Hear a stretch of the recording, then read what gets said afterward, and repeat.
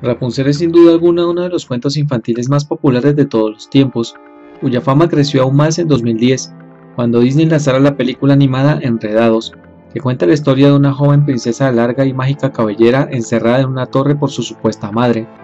Sin embargo, la historia real del cuento de Rapunzel es mucho más oscura y aterradora de lo que podríamos imaginar.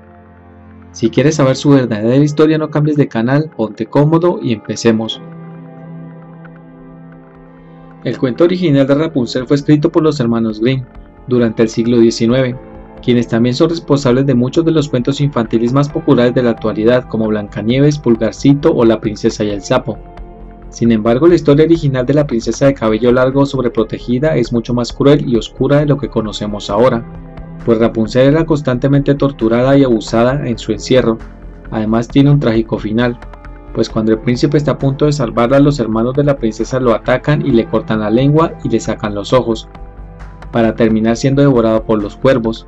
Todo esto frente a los ojos de Rapunzel, quien termina siendo sacrificada por sus hermanos, siendo final aterrador comparado con el final feliz que nos muestra Disney.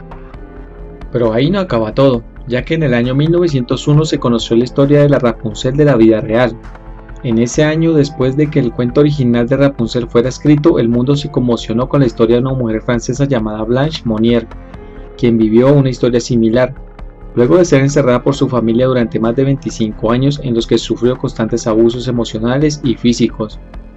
Según se dice, la joven pertenecía a la clase alta de Francia y era sumamente protegida por su madre, quien provocó que la joven se mantuviera soltera hasta los 27 años, lo cual era muy raro en esa época. Luego de que la joven se enamorara de un abogado protestante, la familia decidió encerrarla, pero el encierro duraría 25 largos años, pues cuando ya estaba por cumplir los 52 años su padre moriría, dejándola en una condición de salud tan deteriorada que no podía ni mantenerse en pie. Había perdido la cordura y mostraba signos de extrema desnutrición, y era alimentada con sobras de comida y su largo cabello le rebasaba los tobillos, debido a que nunca se lo cortaron, de ahí el mote de Rapunzel de la vida real. Pero sería en 1901 cuando los trabajadores de la casa donde estaba presa la mujer denunciaron de forma anónima el encierro de esta. La madre de Blanche asumió toda la responsabilidad, pero moriría poco antes del juicio, mientras que su hermano tan solo fue condenado a 15 meses de cárcel.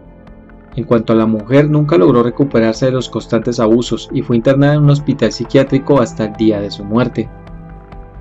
Pero ahora me interesa saber tu opinión. ¿Qué te pareció la historia real de Rapunzel?